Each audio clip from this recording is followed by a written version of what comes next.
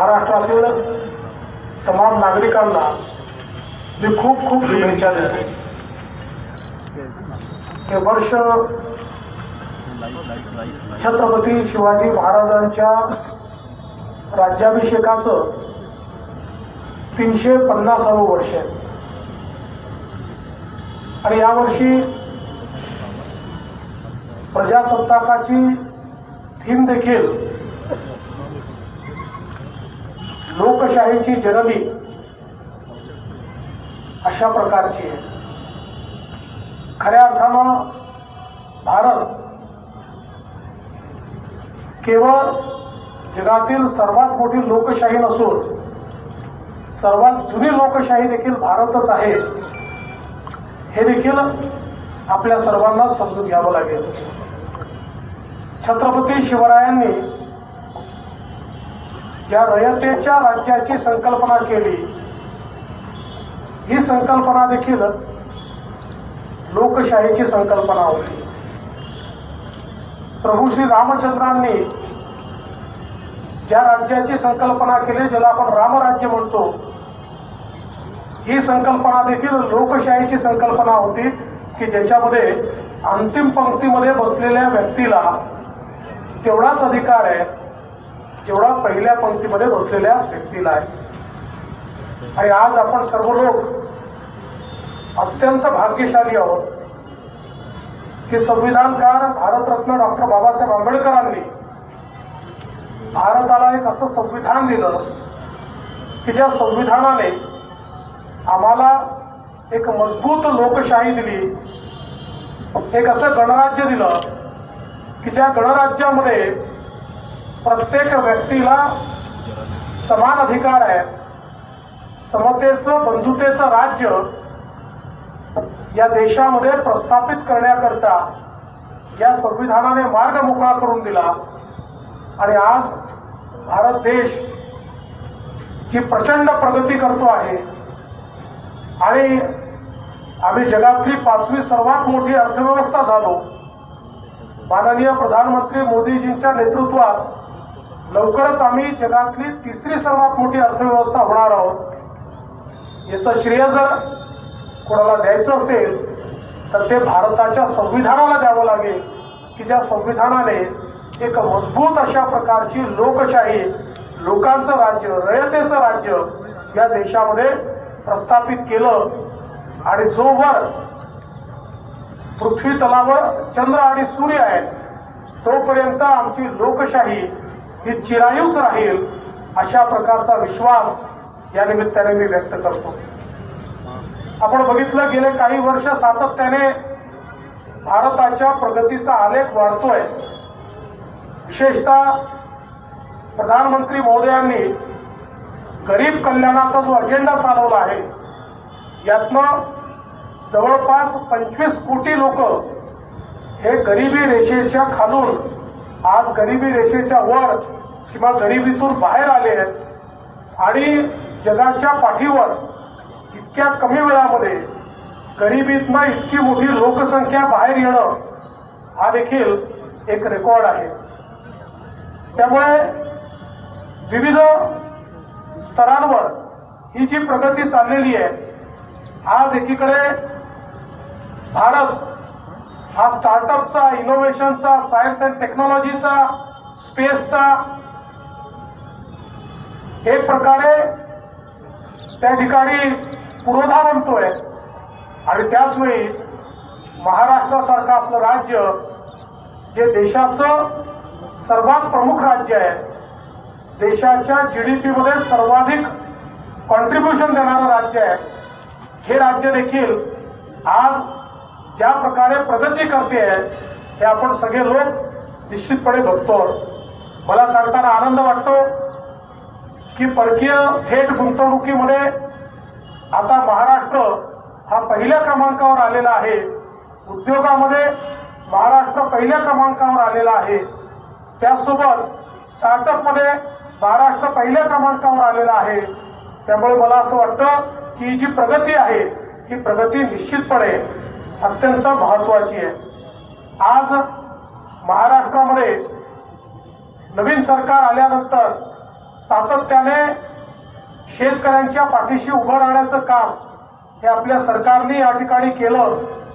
आणि मग शेतकऱ्यांना एक रुपयात पीक विमा देणं असेल किंवा नमो महासन्मान शेतकरी योजना जी असेल की ज्यातनं सहा हजार रुपये शेतकऱ्यांना केंद्र सरकारच्या सहा हजार रुपयांसोबत देण्याचा निर्णय असेल किंवा आमच्या शेतकऱ्यांना दिवसा वीज मिळावी म्हणून कृषी सौर वाहिनीसारखा कार्यक्रम असेल असे अनेक कार्यक्रम हे आपण या ठिकाणी निश्चितपणे केले आहेत. आज नागपूर सारखा आपला जिल्हा या जिल्ह्यामध्ये वेगवेगळ्या प्रकारच्या कामातनं या जिल्ह्याचा विकास व्हावा आणि त्यासोबत जिल्ह्यामध्ये रोजगार निर्मिती व्हावी याकरता मोठ्या प्रमाणात आपण प्रयत्न सुरू केले आहेत. आपल्याला कल्पना आहे की समृद्धी महामार्ग असेल की ज्याच्यामुळे लॉजिस्टिक्स करता एक प्रचंड मोठी संधी आपल्या जिल्ह्यामध्ये या ठिकाणी उघडलेली आहे.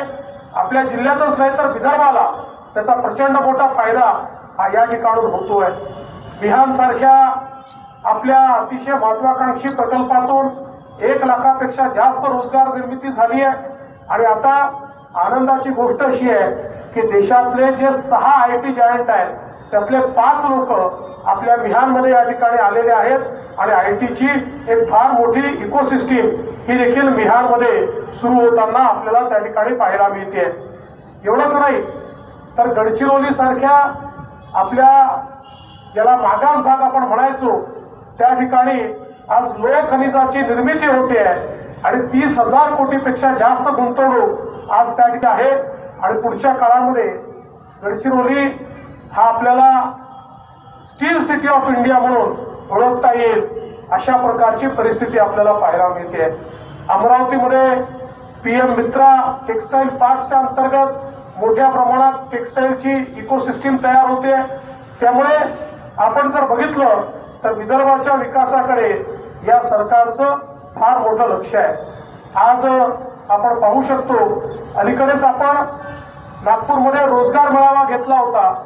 दोन दिवसामध्ये दहा हजार लोकांना ऑफर लेटर देऊन एक अतिशय यशस्वी अशा प्रकारचा हा रोजगार मेळावा झाला. आज आपण पाहतोय पर्यटनाच्या अनेक संधी या नागपूरमध्ये आणि नागपूरच्या आसपास सुरू झाल्या आजूबाजूच्या जिल्ह्यांमध्ये सुरू झालेल्या आहेत.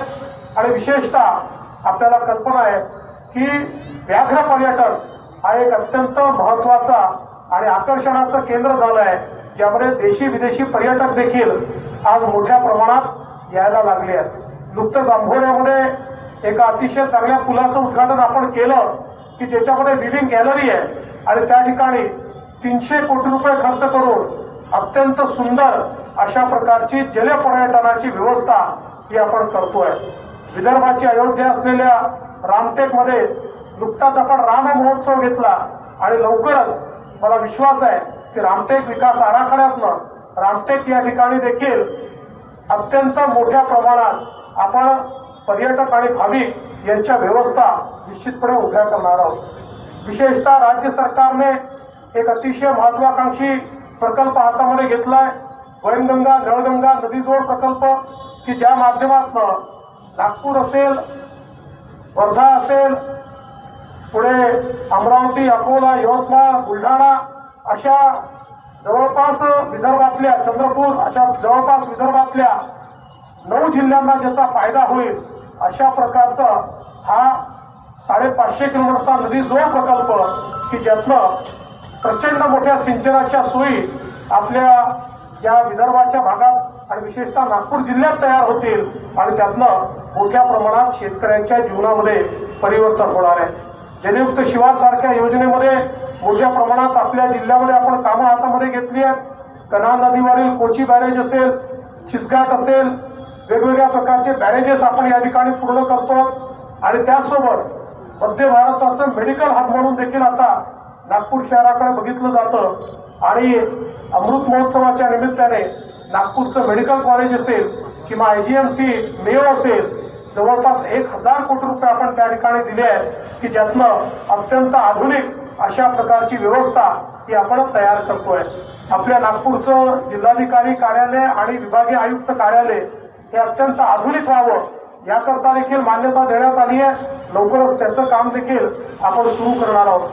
पवित्र दीक्षाभूमीवर दोनशे कोटी रुपयाची कामं ती आपण सुरू केलेली आहेत आणि मोठ्या प्रमाणात आंतरराष्ट्रीय दर्जाचं इन्फ्रास्ट्रक्चर हे त्या ठिकाणी करण्याचा प्रयत्न आपला आहे. कारण दीक्षाभूमी हे भारताचं वैभव आहे.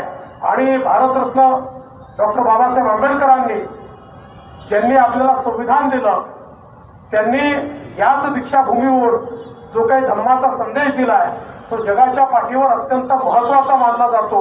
आणि म्हणून त्याही भागामध्ये मोठ्या प्रमाणात काम करणं हा आपला प्रयत्न आहे. नागपूरला शैक्षणिक हब म्हणून देखील विकसित करण्याचा आपला प्रयत्न आहे. जवळपास सगळ्या महत्त्वाच्या शैक्षणिक संस्था या नागपूरमध्ये आलेल्या आपण आज बघतोय नागपूर मेट्रोचा दुसरा टप्पा आपण सुरू केलाय. कन्हान बुटीबोडी कापसी हिंगणा ह्या सगळा भाग जोडला जाणार आहे. त्रेचाळीस किलोमीटर लांबीची आणि तेहतीस नवीन स्टेशन्स या नवीन मेट्रोच्या माध्यमातून होणार आहेत. आणि त्यामुळे निश्चितपणे मोठ्या प्रमाणात हे परिवर्तन आपल्याला पाहायला मिळणार आहे. जवळपास एक हजार कोटी रुपयाची विविध उडान पुलं ही नागपूरमध्ये आज या ठिकाणी होत आहेत. आणि त्याचसोबत दळणवळण सोपं झालं पाहिजे. ते पर्यावरण पूरक झालं पाहिजे. याकरता पुढच्या तीन वर्षामध्ये नागपूरच्या सगळ्या बसेस या ई बसेसमध्ये कन्वर्ट करण्याचं काम आपण करतोय. अडीचशे बसेस घेण्याकरता महानगरपालिकेला जवळपास एकशे सदतीस कोटी रुपये हे आपण या ठिकाणी दिले आहेत. एक आनंदाची गोष्ट म्हणजे मालमत्ता करधारकांना शास्तीमध्ये ऐंशी टक्के सूट देण्याचा निर्णय हा आपण या ठिकाणी घेतलाय. तर जे काही महापालिकेचे वीज रेंट होते ते वार्षिक आठ टक्क्यावरनं झिरो पॉईंट झिरो फोर टक्के शून्य पॉईंट शून्य चार टक्के इतके कमी करून सामान्य माणसाला दिलासा देण्याचं काम हे आपण या ठिकाणी केलं आहे नागपूर शहरामध्ये ट्वेंटी फोर बाय सेव्हन या पाणी पुरवठा योजनेच्या माध्यमातून आज आपल्याला कल्पना मंगळवारी आणि गांधीबाग हे दोन झोन टँकर मुक्त झाले आहेत आणि लवकरच नागपूर शहर हे पूर्ण टँकर मुक्त करण्याचा आपला प्रयत्न आहे. नागपूरमध्ये नुकत्याच आलेल्या पुलानंतर पुरानंतर अंबाझरीपासनं ओव्हरफ्लोच्या विकासाचं काम आपण सुरू करतोय. आणि त्याचसोबत नाग नदीचा नदी कृती आराखडा मंजूर करून जवळपास एकोणीसशे कोटी रुपयाचं काम त्या माध्यमातून नाग नदी ही अविरल वाहिली पाहिजे आणि ती निर्मल वाहिली पाहिजे या दृष्टीने आपण त्या ठिकाणी करतोय. त्यामुळे एकूणच सगळा सर्वांगीण विकासाचा आपला प्रयत्न आहे. नागपूरचं जे आपलं मानकापूरचं स्पोर्ट्स कॉम्प्लेक्स आहे त्या ठिकाणी जवळपास पाचशे कोटी रुपये खर्च करून देशातलं अत्याधुनिक स्पोर्ट्स कॉम्प्लेक्स हे आपण त्या ठिकाणी तयार करतोय ज्यातनं आंतरराष्ट्रीय खेळाडू हे आपल्याला तयार करता येतील. आणि त्यासोबत नागपूरच्या विविध भागांमध्ये जी काही मैदानं आहेत ती मैदानं देखील चांगल्या प्रकारे तयार करून आणि नागरिकांना कशी विशेषतः खेळाडूंना उपलब्ध करून देता येतील असा देखील प्रयत्न आपला आहे. मी आज या निमित्ताने एवढंच सांगतो की नागपूर असेल विदर्भ असेल महाराष्ट्र असेल या सर्वांगीण विकासाकरता आपण सगळे कटिबद्ध आहोत. पण या प्रजासत्ताक दिनाच्या निमित्ताने आपण एकीकडे आपल्या स्वातंत्र्याचा अमृत महोत्सव साजरा करतोय आणि आता प्रजासत्ताकाचा अमृत महोत्सव देखील सुरू झालाय. या प्रजासत्ताकामध्ये आपल्याला संविधानाने जसे अधिकार दिले आहेत तसंच आपल्याकडनं काही अपेक्षा देखील संविधानाने व्यक्त केलेल्या आहेत तो देखील सुरू झालाय. या प्रजासत्ताकामध्ये आपल्याला संविधानाने जसे अधिकार दिले आहेत तसंच आपल्याकडनं काही अपेक्षा देखील संविधानाने व्यक्त केलेल्या आहेत. आणि मला असं वाटतं आपण प्रत्येकाने आपल्या अधिकारांसोबत आपलं कर्तव्य काय आहे हे जर लक्षात ठेवलं तर आपल्या प्रधानमंत्र्यांचं जे स्वप्न आहे अमृत काळातला विकसित भारत आणि त्याचसोबत एक ट्रिलियन डॉलरचे महाराष्ट्राची अर्थव्यवस्था ही दोन्ही स्वप्न आपण निश्चितपणे येत्या काळात पूर्ण करू शकू. मी पुन्हा एकदा आपल्या सर्वांना भारतीय प्रजासत्ताक दिनाच्या खूप खूप शुभेच्छा देतो. आमच्या ज्या पोलीस विभागातील अधिकारी कर्मचाऱ्यांना मेडल्स मिळाले आहेत त्यांचं मनापासून अभिनंदन करतो. या परेडमध्ये सहभागी असलेले जे विद्यार्थी आहेत त्यांचं आणि विविध आमचे जे दल आहेत त्यांचं देखील मनापासून अभिनंदन करतो. आणि माझे दोन शब्द संपवतो. धन्यवाद. जय हिंद. जय महाराष्ट्र.